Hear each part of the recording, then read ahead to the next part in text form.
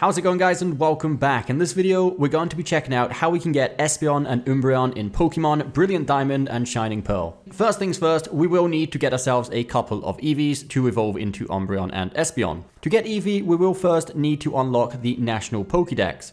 Once we have the National Pokédex, we want to go to Bebe's house in Hearthome City, which is right next to the Poke Center, and she will just give us a free Eevee. It doesn't really matter if it's male or female, as either one can breed with Ditto back at the daycare center, so you can make as many eggs as you like. So once you've got yourself a couple of Eevees, you're probably wondering how do you evolve it into Espeon and Umbreon?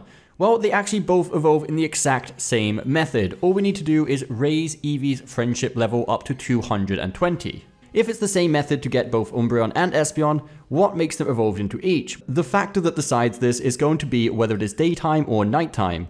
If Eevee evolves during the daytime, it will turn into Espeon. However, if the Eevee evolves in the nighttime, it will evolve into Umbreon. Just so you're aware, nighttime in this game starts at 8 p.m. and ends at 4 a.m. So any of the time between there, it will evolve into Umbreon. It's fairly easy to raise the friendship levels of your Pokemon as long as you know what you're doing. The first and most important thing that we need when it comes to increasing the friendship levels of a Pokemon is the Soothe Bell. This can be obtained inside the mansion in Route 212. If we speak to the NPC shown here in the gameplay, she will just give us the Soothe Bell, and with this item equipped onto any of our Pokemon, that Pokemon will receive double friendship points every time he gets one.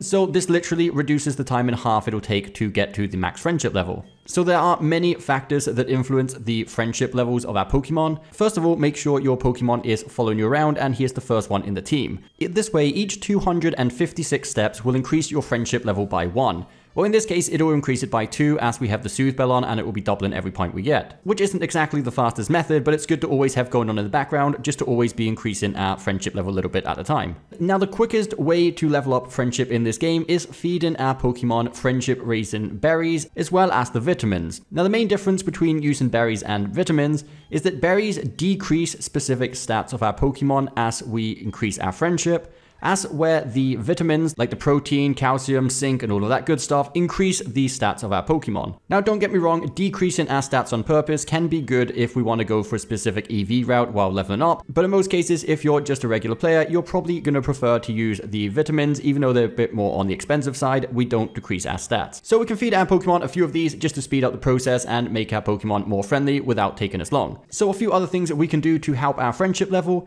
In Veilstone City, there's actually a Pokemon masseuse, which you can take your Pokemon to, get a free massage, and increase your friendship points by 3, which isn't a huge amount, but it does help a little bit. And now the main standard way of increasing our friendship on our Pokemon is actually just by leveling up. For every time we level up, we'll actually gain a decent amount of friendship points towards that Pokemon, as long as that Pokemon isn't dying. And luckily for us, if we are breeding Eevees, when a Pokemon comes out of an egg, not only does it start with higher friendship level, but it also starts on level 1 which means we get the chance to increase many levels really quickly and get a bunch of free friendship points. So what you can do is simply go to the highest level area you have access to, switch out your level 1 Eevee as soon as the fight starts onto something more powerful, defeat the enemy, and then just bask in the glory of all that free XP you get in. Our Eevee evolved into Espeon literally on the first fight we did this way. It's pretty much real time what you're seeing here on the video. There was no extra friendship points obtained outside any of the clips you're seeing right here, so it's really, really quick if you know what you're doing. So I hope you did find this video helpful, guys. If you did, don't forget that thumbs up button, subscribe for more content coming very soon, and we'll see you next time.